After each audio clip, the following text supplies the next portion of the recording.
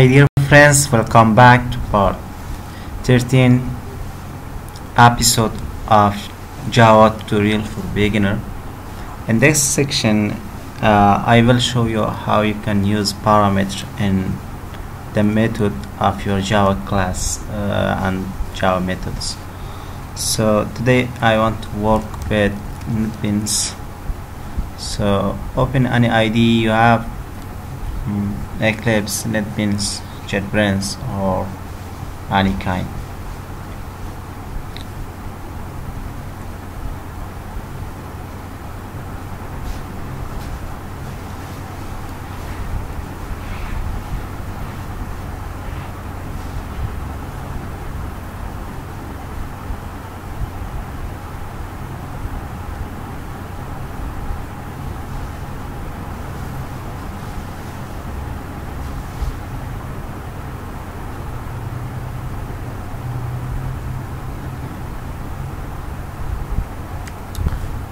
Okay. So I want to create a new project.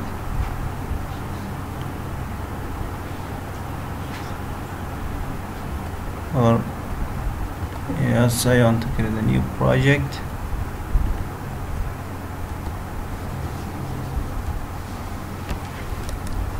Uh, that's the name of Java tutorials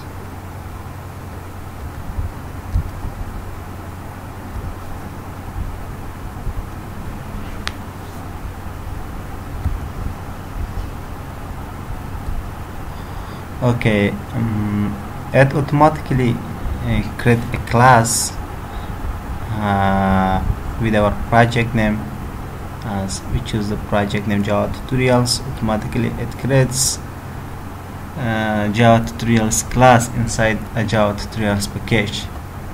Okay? So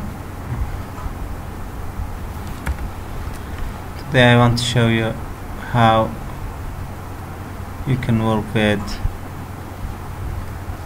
parameter in Java. So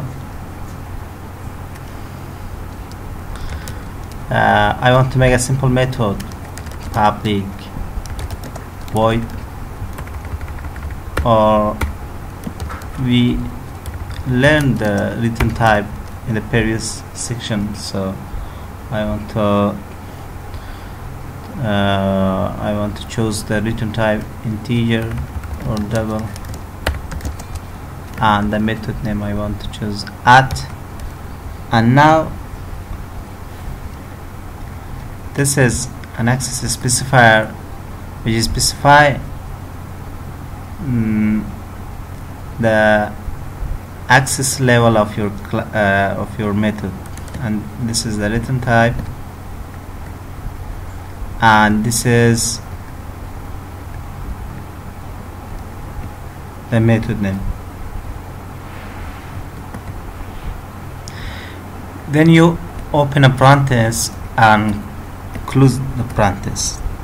This is the method parenthesis. Inside the parenthesis here is the parameter. Okay? Parameters parameter is nothing but just the variables inside this parenthesis. Okay? For example integer a this is a parameter a or the double p. Then return a plus b. Okay? Now you can call this in the previous section uh, we used the static context the static keyword in our method because uh, without making any object just we call the method okay?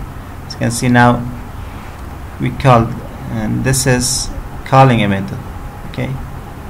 We call the method add and the method add has two parameters integer a and double b.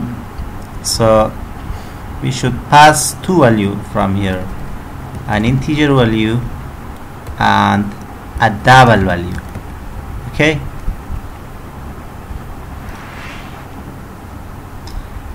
Now this method called but this method return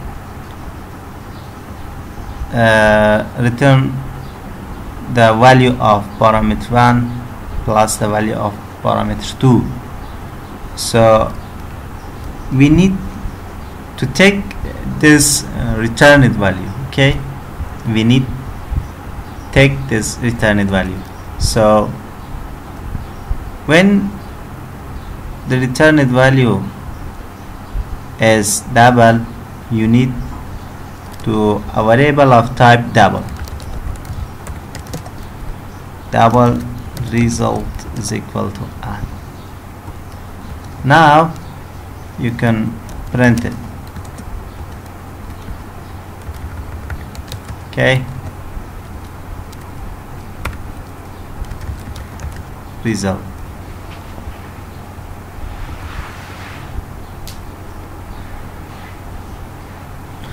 as you can see now we have the uh, returned value here okay?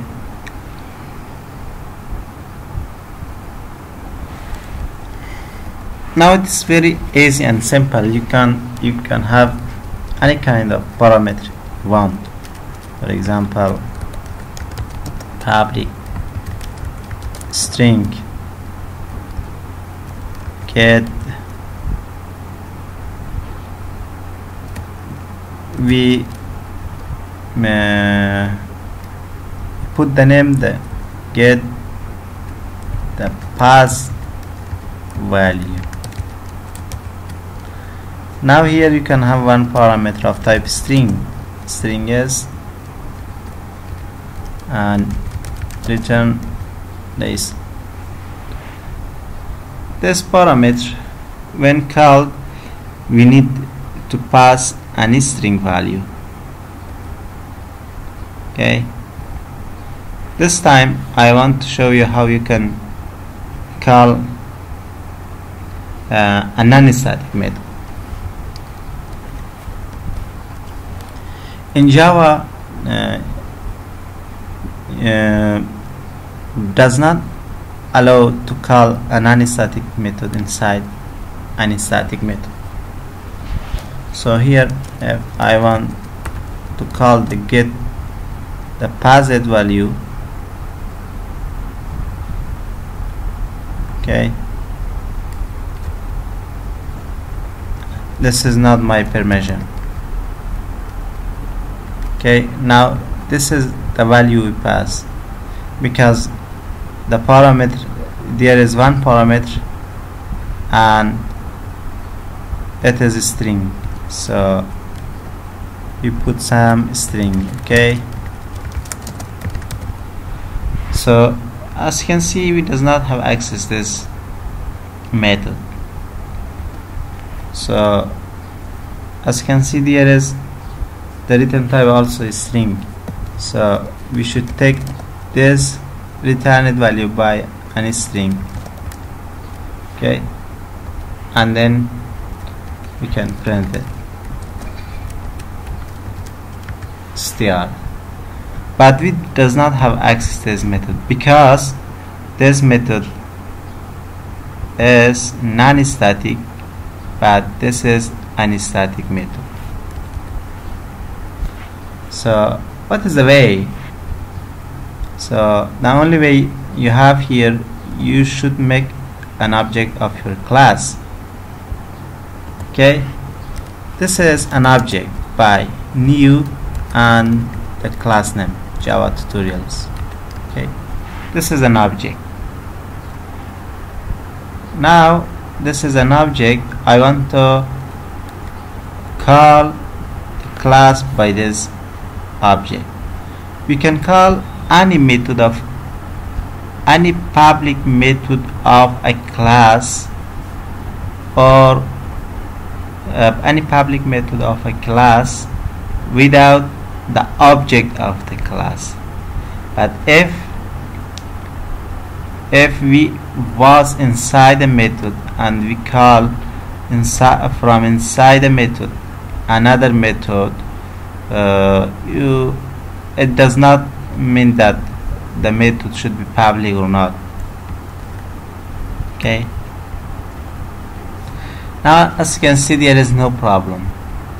I can call call this method this non-static method inside a static method by making an object of our class. So let's run. As you can see this is the result this is an object. You can put this in an obj variable. I want to make a variable obj but of type java tutorials okay? So this is a variable now I want to assign an object in this variable. Now I assigned this object in this variable of type java tutorials. So now this is an object because we assigned an object to it.